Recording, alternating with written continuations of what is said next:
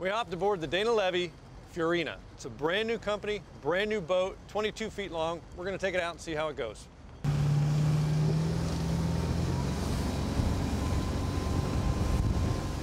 Just want to draw your attention to a couple of unique features on the Furina.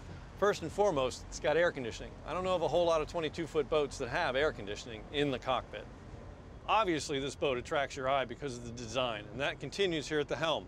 The custom Momo steering wheel, three gauges, and a custom binnacle, all tucked beneath the windshield. Without a doubt, a couple of the most interesting design cues on the Danalevi Furina, the acrylic windshield with these custom CNC machined aluminum supports. Danalevi also included some custom machine hatch vents on the engine cover with some black screen inserts.